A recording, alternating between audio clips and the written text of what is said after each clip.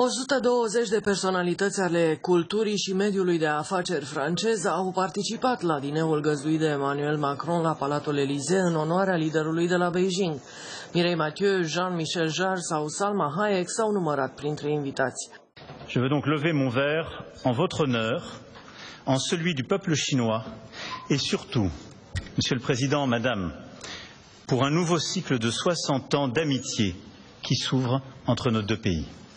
La prima vizită a președintelui chinez în Europa după anul 2019, prilejuită de împlinirea a 60 de ani de la stabilirea relațiilor diplomatice sino-franceze, Macron și Xi Jinping au pledat pentru un armistițiu olimpic în toate conflictele globale în timpul Jocurilor Olimpice de la Paris din vara acestui an.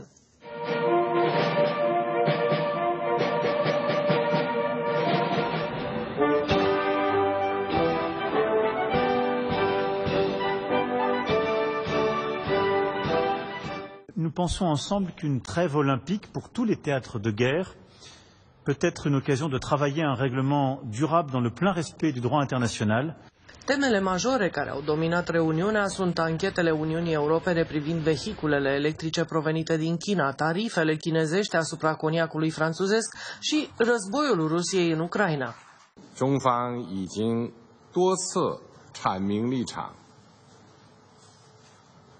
中国 既不是危机的制造者，也不是当事方、参与方，但我们没有隔岸观火，而是一直在为实现和平发挥积极作用。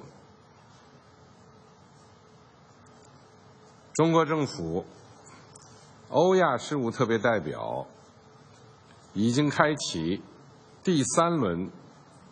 穿梭斡旋。Și i-a avertizat pe susținătorii Ucrainei să nu se concentreze prea mult pe sprijinul acordat de Beijing Moscovei, făcând aluzie la rolul Washingtonului în acest război. President Xi has played an important role in de-escalating Russia's irresponsible nuclear threats, and I'm confident that President Xi will continue to do so um, against the backdrop of the ongoing nuclear threats by Russia. Din Franța, liderul de la Beijing va pleca în Serbia, a doua etapă a turneului european.